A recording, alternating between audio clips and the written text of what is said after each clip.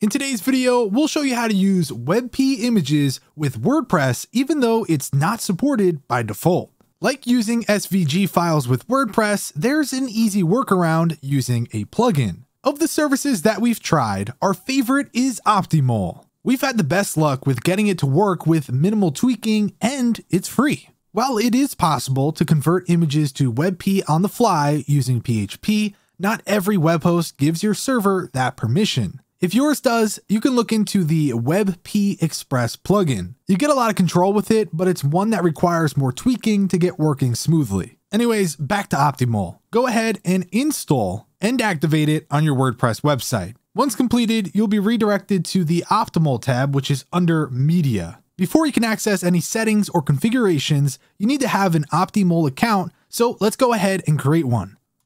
Simply insert your email address and click register. The basic account for an API key is free, and you get roughly 5,000 visits on that tier.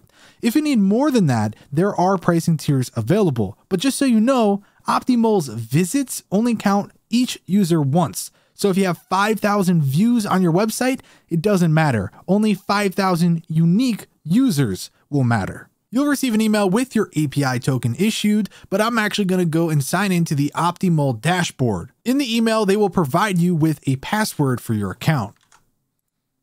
Now that we're signed in, I'm going to go ahead and copy my API key here at the top, go back over to my WordPress website and enter it in, click connect to Optimole service.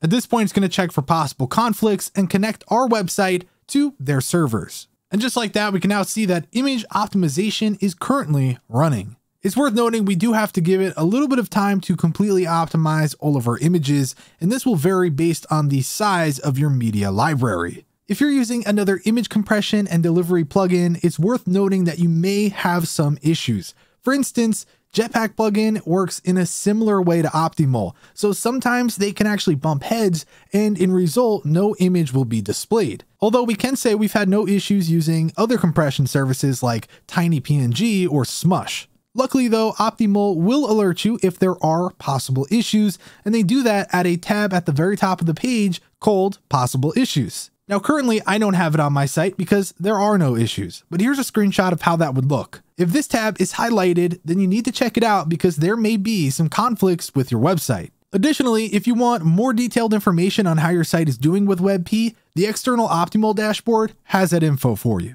It is worth noting that this dashboard is very similar to the WordPress dashboard, and essentially you can do the same things on both. It depends entirely on what you're most comfortable with, as well as what level of data you need to be given at any time. For instance, the actual Optimole dashboard goes pretty deep on all of the information you need regarding your website, whereas quickly changing a setting on your WordPress dashboard may just be a little bit easier and faster. An interesting feature in the Optimole dashboard is the ability to actually add a watermark that's automatically added on. It's a simple process and it's pretty nice if it's something you're looking for. Oddly enough, on their actual dashboard, I don't see any further settings, but here on the WordPress dashboard, I can actually choose if I want it to be active, what the opacity should be, position, offset, and even scale. Be sure to check out all of the other settings available, like compression, so that you could really dial settings in to exactly what you would like them to be. For instance, exclusions can be a very important setting. Maybe you have a certain file that you do not want to be optimized.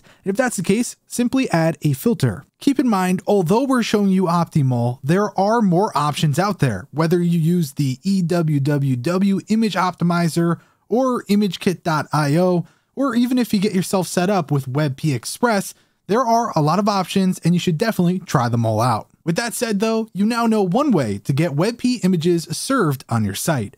If you enjoyed this video, then be sure to give it a like and subscribe for more content.